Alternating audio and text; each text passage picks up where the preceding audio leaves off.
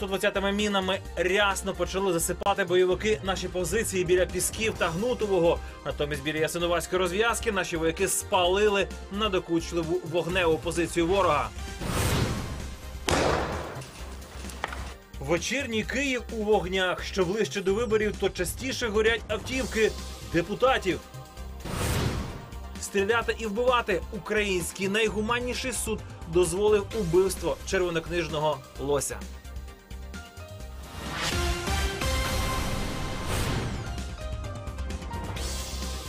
12 лютого, 18.15 на годиннику. Новини, що вже стали історією. Ринкові відносини у рівному підірвали будинок директора місцевого ринку. А в Росії пасажири аерофлоту навчилися злітати просто з трапа літака. Та водій інкасатор робота прибуткова у Франції зникла 60 мішків готівки євро. Це спецкор. Починаємо. Важка артилерія бойовиків знову рівняє Донбас із землею. Б'ють терористи, повідомляють у штабі, здебільшого прицільно. Під час одного з обстрілів український воїн зазнав поранення. Його вчасно евакуювали і нині надають необхідну допомогу. Загалом ситуація на Донбасі дещо загострилася. На Луганському напрямку бойовики обстріляли позиції армійці у Новотошківському та Кримському. Били переважно мінами 82-го калібру. Затяжні стрілецькі бої тривали поблизу хутора Вільний. По ньому російсько-терористичні найманці працювали із гранатометів та великокаліберних кулеметів. А от на Донецькому напрямку прилітав 120-й калібр поблизу Пісків, Гнутового та Широкиного. У більшості випадках військові заспокоювали бойовиків і не безуспішно. Так на Ясиновацькій розв'язці біля окупованого Донецька на одну вогневу точку бойовиків стало менше. Ось так блискавично проросійських бойовиків змусили замовкнути. У Києві обирають запобіжний захід голові Херсонської обласної ради Владислава Мангера підозрюють у замовленні вбивства активістки Катерини Ганзюк. Про те, що справа розкрита, напередодні заявив генпрокурор Луценко. У липні херсонську активістку облили сірчавною кислотою. У листопаді вона померла у лікарні. Луценко показав журналістам схему злочину, до якого за версією слідства причетні дев'ятеро. Замовник, посередники, організатори та виконавці. За цією схемою вбивство Ганзюк її начебто замовив і профінансував голова Херсонської обласної ради. Вчора йому вручили підозру, але затримувати не стали. Лише запросили до Києва. Мангер провини не визнав, назвав справу політичним замовленням і пообіцяв не тікати, бо сам, мовляв, зацікавлений у справедливому суді. На засіданні працює Інна Боднар. Про останні новини із судової зали запитаємо в неї наживо. Інно, вітаю. Скажи, будь ласка, що вдалося вже дізнатися і як зараз триває суд? Тобі слово. Добрий вечір, Руслане. Ну хочу сказати, що буквально кілька хвилин тому засідання про обрання запобіжного заходу голові Херсонської обласної ради перенесли на завтра. На завтра також перенесли на 12.30 дня. Виходить, що вже будемо добу очікувати обрання запобіжного заходу, бо сьогодні е, засідання розпочалося теж о 12 годині. На нього голова Херсонської облради приїхав сам на своєму позашляховику. Центральним входом не заходив, зайшов через чорний вхід, вийшов з автівки е, в супроводі охорони та адвокатів своїх е, в такому костюмчику і в кепці із е, державними символами на ній. І там нам е, за закутком суду запевнив, що це політичне переслідування його. Жодного відношення до цієї справи я не маю. Все, що там є в цій справі, якщо я мав ознайомитись, шито білими нитками. Ви це почуєте на процесі. Ще раз повторюю, що це, як з мого боку, це чисто політичне замовлення. До свого захисту він залучив п'ять- п'ятьох адвокатів, троє з Києва та двоє із Херсону. Останні е, не приїхали в обід, в обід на засідання, е, мовляв, затрималися, бо погані дороги. І е, столичні адвокати казали, що вони не ознайомилися із підозрою, оскільки вона у херсонських адвокатів. Тому ж засідання перенесли на вечір. А ввечері вже були херсонські адвокати, і вони теж сказали, що нічого не вичитали. Чому? Ми добиралися сьогодні до міста Києва протягом більшої частини дня. Причому під час поїздки не мали можливості вільно вивчати і обговорювати дані матеріали. А, Зрештою, захисники голови Херсонської облради апелювали на те, що вони не вивчили справу. Окрім того, вони вимагали, аби долучи, аби заслухати диск допиту інших підозрюваних у, справі. Павловського та Торбіна суд почув їхні докази і, як я вже казала, переніс розгляд обрання запобіжного заходу на завтра на 12.30. Студія. Дякую, колега. Інна Боднар, наш кореспондент із суду, де обирали запобіжний захід підозрюваному у вбивстві Каті Гандзюк. За бурштин на полісі воюють цілими селами, воюють за клондайки і не гребують вбивствами сусідів. Коли питання кілька тисяч доларів не до сантиментів, Нещодавно на Рівненщині у Володимирецькому районі вбили 30-річного чоловіка. Копи затримали і виконавців, і замовника. Як з'ясувалось, це конкуренти із сусіднього села. Тепер село готується до облоги та мало не воєнної оборони. Такі вбивства на Порісі не забувають. Ці люди приїхали за понад 200 кілометрів, бо бояться за своє життя. Вимагають від обласних прокурорів затримати вбивці їхнього односельця. За цей злочин поліція затримала чотирьох підозрюваних. Та люди кажуть, на волі ще два нападники, яких бачили на місці злочину. Вони угрожали, що, е, що крім цього замовного вбивства, ще вони замовили багатьох. 30-річного Юрія побили, а потім впритул розстріляли з автомата на власному подвір'ї. У поліції заявили, це було замовне вбивство. Його організатора на прізвисько «Американець» знайшли у Рівному. Трьох виконавців затримали прикордонники при нелегальній спробі втечі до Білорусі. Аби затримати ще двох, в області оголосили план «Сирена». Зрештою, вони здалися, але за відсутності доказів вийшли на волю. Якщо будь-які свідки дадуть нам покази про те, що їм відомо що-небудь про їхню причетність до вчинення даного злочину, звичайно, що я дам команду і слідчий сам прийме рішення. Був свідок, коли він зайшов, як застрелили потерпілого, то втікали вони, він посвітив машину і він пізнав цих двох, що вони відпустили. Вони поплічники американця, стверджують люди. Неодноразово влаштовували розбірки зі зброєю. Стрілянині місцеві вже не особливо дивуються. Старе село давно здобуло славу кримінального. Стрільба була у столовій, прострелили руку е, хлопцю. Заради розваги стріляють. За роки бурштину зброї дуже багато накупили. Місцеве населення і взагалі. А це той самий американець, якого підозрюють в організації умисного вбивства. На нього вказали його ж затримані поплічники. Проте сам він усе заперечує. Я не визнаю свою дитину. Були у вас між собою якісь непорозуміння? Не було ніяких. Проте у поліції інша думка. Особа, яка загинула, і підозрюваний Павлович належали до різних груп. На думку органу досудового розслідування, саме ці конфліктні відносини послужили причиною безпосередньо вчинення даного злочину. Поки триває розслідування, американець проведе у СІЗО два місяці. Стосовно нього у суді є ще дві, поки без вироку справи хуліганство та розбій. Троє підозрюваних у виконанні вбивства теж під вартою. Якщо там не опиняться і інші причетні до злочину, кажуть друзі вбитого, їхнє життя під загрозою. Ми ось з вами говоримо, але ми не знаємо, чи ми до ранку доживемо. Годину часу мене просто катували і душили проволокою, і бітами збивали. А це вже розповідь про будні в старому селі від іншої сторони. Ці двоє саме ті, кого односельчани підозрюють у співучасті у вбивстві, стверджують, до злочину не причетні. Я хотів приїхатися, глянути, що відбувається. Я приїжджаю до міста убійства, і там машин вісім. Всі вибігають і починають за нами бігти. З того в паніку впали, почали втікати. Розповідають, село давно поділилося на кілька груп, і розбірки там майже звична справа. Конфлікти почалися ще до мого приїзду за бурштину, не поділили каландайки. Кажуть, теж бояться розправи і теж хочуть знайти спільну мову з односельцями. Як з ними говорити, я навіть не знаю. Бо я теж дзвонив, казав, а вони при вам в старому селі не буде життя. Єдине, в чому обидві сторони згодні, якщо не вдасться порозумітися, село чекають самосуд та кровопролиття. Анна Махно, Олександр Ковтунець, Рівненщина спецкор 2+,2. У Києві згоріла автівка депутата Київської міської ради Володимира Назаренка.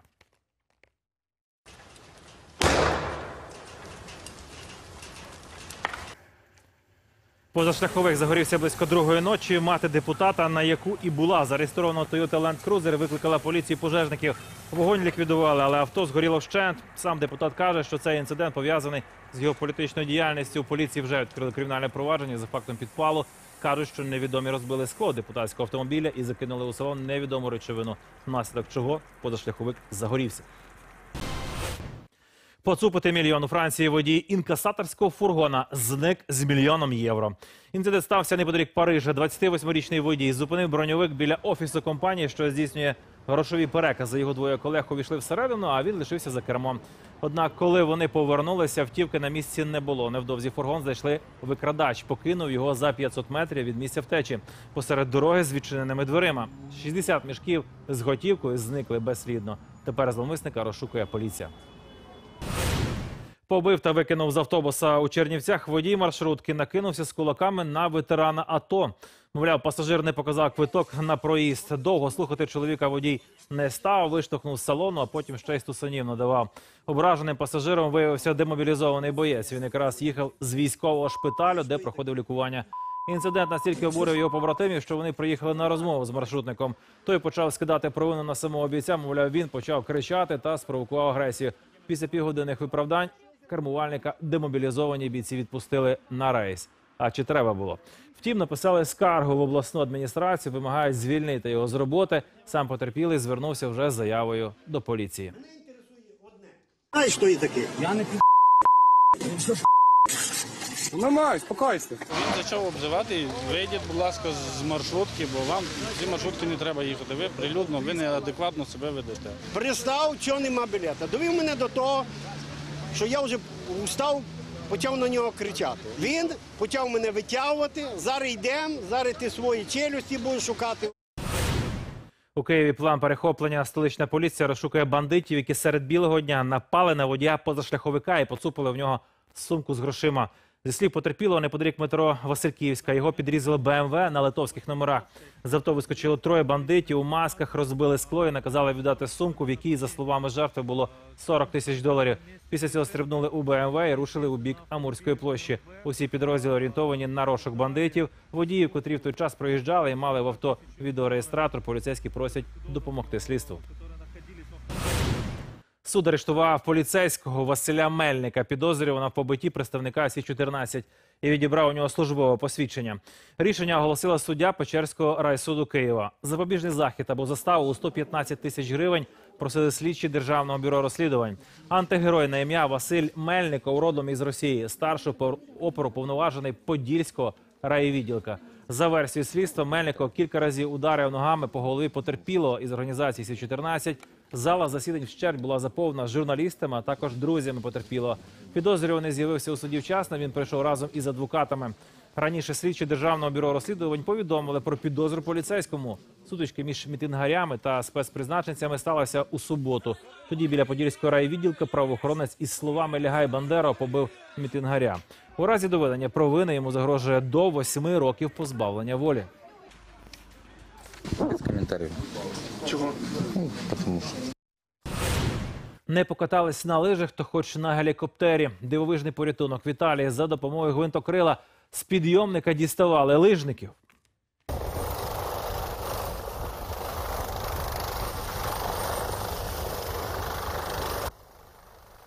Підйомник зупинився на курорті Червінія, що на північному заході країни. У кабінах опинилися заблокованими три десятки людей. Аби їх евакуювати, задіяли вертоліт. Рятувальники на мотузці спускалися на дах кабіни підйомника. Звідти по черзі витягали лижників і підіймали на борт повітряної машини. Операцію провела місцева рятувальна служба разом із поліцією. Працівники курорту повідомили, зупинку системи спричинила технічна несправність. Вони озброєні і оснащені краще за єгерів, браконьєри. Їм усе одно в яку тварину стріляти, тому вбивають і червонокнижних. Причому з садистським запалом, як то на Львівщині вбили вагітну лосицю. А тут ще і окружний адміністративний суд дозволив полювати на лося.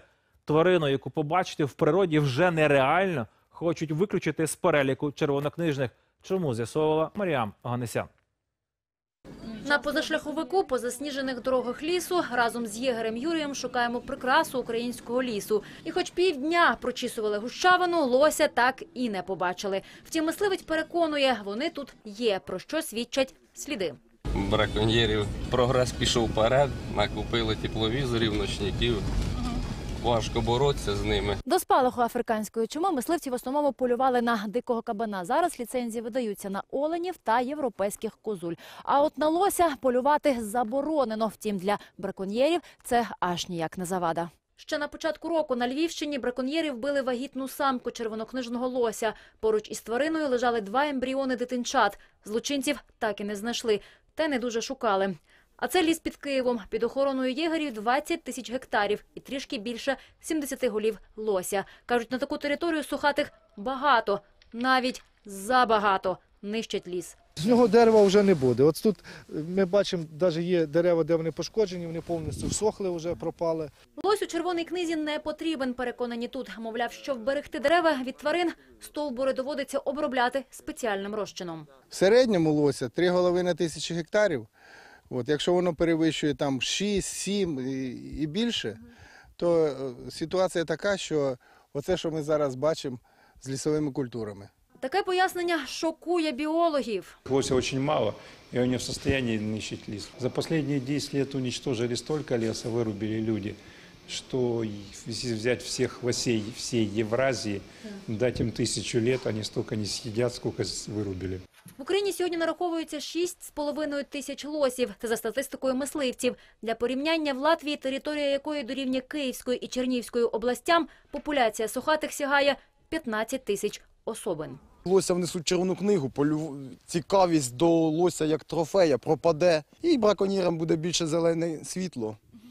Не будемо справлятися, не буде ніяких доходів в мисливському господарстві. А це вже обурює профільне міністерство. Хто визначає, зацікавлені ви чи не зацікавлені? Закон каже, що ви маєте його охороняти, то охороняйте. А так виглядає, що е, якась там людина особисто трактує, як їй е, вигідно закон, чи виконувати, чи не виконувати. Абсурдні якісь висловлювання взагалі. До внесення лося в червону книгу, аби законно вполювати савця, треба було викласти до 25 тисяч гривень. До слова, в Європі сума практично та ж, щоправда, в євро. Таке задоволення, за словами вітчизняних єгерів, могли собі дозволити лише заможні українці або ж приїжджі мисливці. Поки що полювання заборонене, втім, чи не завжди, має сказати суд. Міністерство екології подало апеляцію на рішення окружного адміністративного суду про виключення з червоної книги лося європейського. А нашій знімальній групі за час рейду так і не вдалося на власні очі побачити лося, який поки що під охороною. Його і справді мало, точно менше ніж охочих його мати за трофей. Марія Моганесян, Олександр Шиян, Роман Сищенко та Микита Морозов. Спецкор 2+,2. Made in Russia троща в аеропорту Алтайського краю. Зранку, коли пасажири заходили на борт рейсу Барнаул-Москва, частина автодрабини не витримала і просто склалася. На відео, опублікованому в мережі, видно, як люди просто посипали з п'ятиметрової висоти один на одного на посадковий майданчик. Відомо, що один з пасажирів ушкодив спину, а інший зламав ногу. У Мінтрансі Російської Федерації кажуть про п'ятьох потерпілих, тоді як у прокуратурі заявляють про шістьох. Декілька пасажирів з злощасного рейсу досі перебувають у лікарні. Зараз спеціальна комісія з'ясовує причини інциденту і перевіряє технічний стан усіх трапів в аеропорту. Вибух у Рівному невідомі жбурнули гранату просто під двері великого маєтку. Живе в ньому співвласниця місцевого ринку з родиною. Під час вибуху вона з чоловіком та 15-річним сином якраз була вдома. Вибухова хвиля пошкодила вікна, двері та сходи. Проте люди не постраждали. Копи з'ясували, зловмисники потрапили до обійстя через незамкнені ворота, кинули гранату та втекли. Вони у розшуку. В поліції розглядають кілька версій злочину, поки що їх не озвучують. Натомість сусіди припускають, так заможну сім'ю хотіли залякати. Був сильний вибух, так як будто, будто зірвалося, як будто з гармати хтось вистрілив. Самі розумієте, це ж не, не, не прості такі люди, які без копійчини сидять. Да, тут великі гроші крутяться. Це, я думаю, тільки їх таке попередження дали невеличке. За результатами огляду працівники вибухотехнічного відділу ГНП попередньо встановили, що вибухнула граната РГД-5. Її уламки вилучили, відправили на експертизу. Не індійське кіно. Згоріли в готелі. В індійському делі внаслідок пожежі загинуло 17 людей.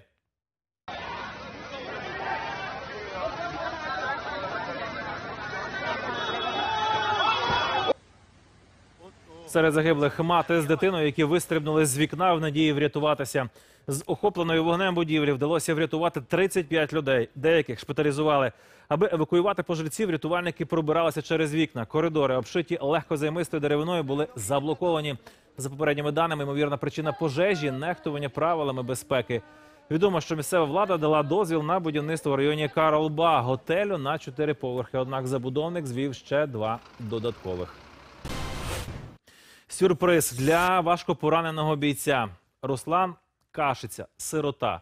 На війні втратив око та ногу. Своє 20-річчя планував відсвяткувати скромно, але все виправили волонтери, побратими, місцева громада та вихователі хлопця. Свято готувалося як справжня спецоперація про людей, які захотіли стати Руслану сім'єю. Наталя Нагорна продовжить. Це дуже великий секрет. Для Руслана сюрприз. Заради таємного дня народження у селі Смотрич на Хмельниччині орендували кафе. Дівчата поспішають. Сам Руслан Кашиця наразі в училищі і ні про що не підозрює. Йому сказали, потрібно вдягти форму, прийти до дітей і розказати їм про війну. Це легенда спецоперації, аби ювіляр нічого не запідозрив. На цьому секретному дні народження сьогодні багато квітів. Ось цей букет для Руслана, ось цей для Миколи Яковича, директора училища, в якому він навчається. А ось ці всі квіти для друзів Руслана, аби він у свій день народження міг зробити подарунок тим людям, яких він любить. Треба показати, що він не один. Гості збираються і ховаються. Для хлопця з милицею запрошені несподіванки. На цих кадрах йому 18. Це реанімація лікарні Мечникова. Важкопоранений Руслан напередодні сьомої операції. Немає ока та ноги, друга посічена осколками, осколки в голові, в животі, опіки на руках. Це самий кошмарний день в моєму житті. Олександр – командир Руслана. Нам він не зізнається, але коли його геть молодий солдат підірвався на міні, це він виніс його пораненого на руках. А тепер приїхав привітати. Серед тих, хто обіймає ювіляра, волонтерка Оля. Опікувалась пораненим в шпиталі. Там він пояснював, чому підписав контракт у 18. У хлопців, які на війні, є мами, сестри, дружини. І як з ними щось трапиться, вони будуть плакати. Зі мною ніхто не буде плакати. Руслан, вихованець інтернату своїх батьків, не знає. Оля мене замінила маму. Коли він лежав поранений у шпиталі, його побачили вихователі. Зібрали величезні торби та поїхали до нього в Дніпро провідати в реанімації. Тепер вони на святі з подарунками. На святі багато тортів і всі патріотичні. Тут і рушничок український, і мальви. Вчителі розповідають, Руслан має два великих бажання. Він хоче володіти такою професією, як практичний психолог. Ще одна мрія – побачити український прапор над Горлівкою. В свої 20 Руслан переконує – щасливий. Життя чудове, і його варто пережити. З Хмельниччини Наталя Нагорна, Вадим Литвин, Леонід Петренко. Спецкор 2+,2. Синоптики б'ють себе в груди, що обіцяний вчорашній сніг таки впаде в Україні сьогодні. Знову лише лякають, розкажемо в другій частині програми. Не перемикайтесь. Спадщина стає дорогою за власність батьків. Діти мусять ще й доплачувати. Нотаріуси правлять свої ціни. Важкі міни на Приазов'ї. Бойовики стріляють з мінометів. Перемир'я під загрозою. Наші бійці говорять про чергове загострення на фронті.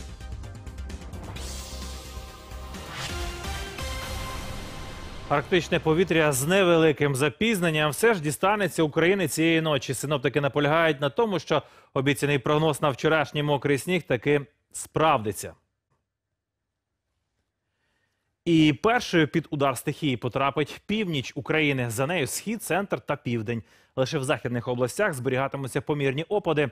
ДСНСники вже оголосили жовтий рівень небезпеки в центральних та північних регіонах. Температура по всій Україні поки що вище нуля, але метеорологи віщують похолодання до 5 градусів морозу на заході та півночі України. І ожеледицю. Тож радять водіям і пішоходам бути пильними. Міномети окупантів знову заговорили на приморській ділянці фронту. Тричі впродовж минулої доби бойовики атакували українські позиції в районі Гнутового. І вже сьогодні зранку поблизу пункту пропуску Піщевик та опівдні біля водяного у небо знову здіймався чорний дим. Та навкруги розліталося відлуння потужних вибухів. Тут чимало нових кульових поранень на давно мертвих деревах. Зі своїх точок Можуть турами далеко доставати. Коли бачать Урал або БТР, вверх запускають. На обгорілій землі та геть розбитих погодою дорогах добре видно свіжі вирви найрізноманітнішої конфігурації. Були міномети 80-ті, до 10 було вибухів. Металеві уламки насправді дуже незвичні і дивні. З'являються тут щодня, просто за крок від шансів українських військових. Щось таке я навіть не знаю. Щось від СПГ, по-моєму. Бувають речі, які не розірвалися і взірвуться від вашої статичної електрики. Центр каже, то наслідки насамперед специфічного місцевого ландшафту, помноженого на мізерну відстань до окупантів, плюс російський чинник. Їздять туристи обучені, кадрові військові російські. Мобільні групи чужинців, озброєні протитанковими ракетними комплексами, розповідають наші хлопці, встигли засвітитися і у них на ділянці. По машинам. Близько 11 годин ранку було. Водій говорив, що десь метрів 10-15 від машини прилетів. Це було наприкінці минулого тижня. Напередодні у три хвилі атакували ворожі міномети. Нині зранку бойовики укотре взялися змінювати ландшафт за лічені метри від дороги, що веде з окупованої території, до контрольно-пропускного пункту Пищевик. Нею саме їхали цивільні автівки.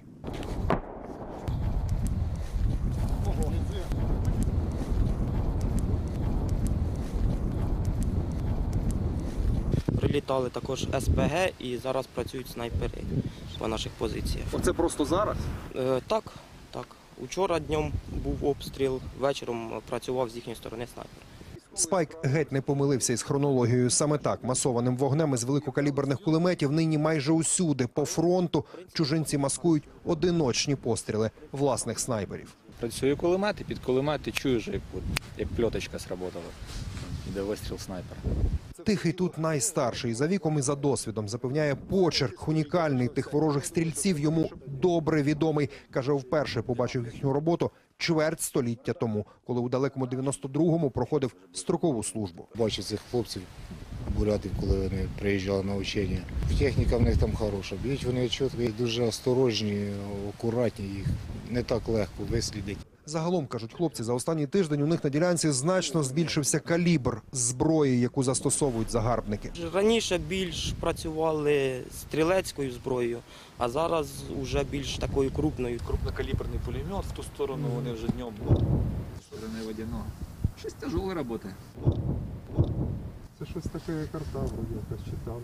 Відлуння півдесятка дуже потужних розривів, що пролунало близько першої години дня, лише підтвердило, ворожа важка артилерія знову стріляє на Приазов'я. Щодня. З передової на приморській ділянці фронту Олександр Моторний, Сергій Азаренко та Сергій Шпортило. Спецкор 2+,2. Засудити копію у Сполучених Штатах чоловік намагається покарати поліцейських за перевищення сили до нього.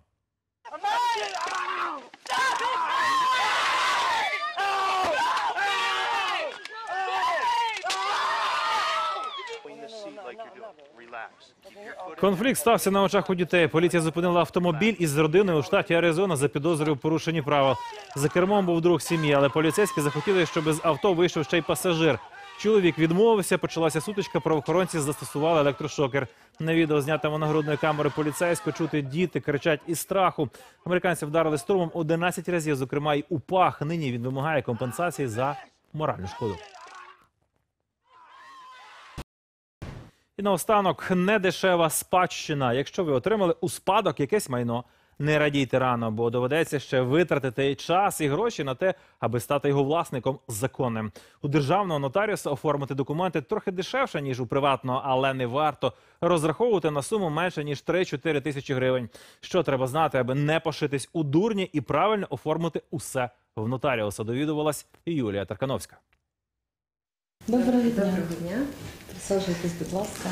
Це Ніна Мерескіна. Їй 33, і вона, звісно, планує жити довго і щасливо. Але сьогодні прийшла до нотаріуса оформлювати заповіт. У мене є маленька дитина, і я все-таки хотіла дізнатися, чи можу я на неповнолітню дитину оформити заповіт вже зараз. Ніна спільною сестрою володіє двокімнатною квартирою в Києві і свою частину житла хоче заповісти маленькому синові на всяк випадок, аби потім не було зайвих сварок між родичами. До нотаріуса, як годиться, прийшла зі стосом документів на квартиру. Утім, каже юрист, усі вони не потрібні.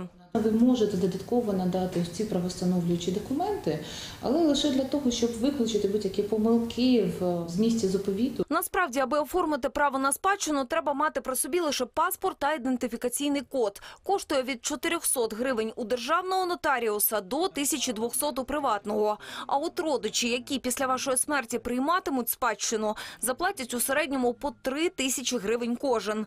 Ось так виглядає типовий заповіт. Нотаріус на комп'ютері набирає ваші паспортні дані, майно і розписує, кому і що ви збираєтесь заповідати. Далі ви ставите підпис і власною рукою пишете, що інформація правильна і текст складений із вашої волі та за вашим бажанням. Цей рядок найважливіший. На сьогоднішній день оця воля є самим основним і ключовим фактором при визнанні заповіту недійсним. Саме недієздатність померлого родича і той факт, що заповіт був складений під тиском, у суді намагаються довести невдоволені спадкоємці. Але, як стверджують нотаріуси, зробити це не так просто. Людина, яка прийшла до нас і виявила свою волю, і ми цю волю закріпили е, цим документом, то і підстав визнання цього заповіту недійсним немає. За статистикою, і сотні таких заяв у суді задовольняють не більше п'яти. Якщо ж родичі невдоволені останнім волевиявленням померлого, але не мають поміж собою суперечок, від заповіту можна взагалі відмовитись. Так зробила родина Вікторії Миколаївни. Її мама заповіла свою квартиру одній із трьох онуків. Утім, після її смерті вони майно поділили порівну. Все сделали, все документы оформили. Вот, квартиру эту продали, трехкомнатная квартира была.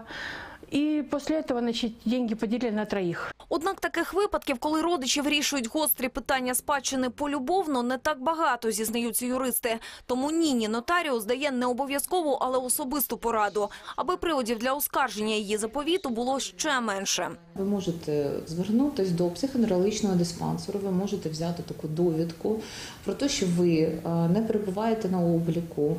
Чи то через необізнаність, або через певну забобонність українців, які оформлюють заповіти, лише 20%. Але Ніна певна, цей документ потрібен. Для мене це як свідоме рішення ем, захистити свою дитину. Це його право, це його маленьке ну, подарунок від мами. Юлія Таркановська, Максим Шинкоренко, спецкор 2+,2.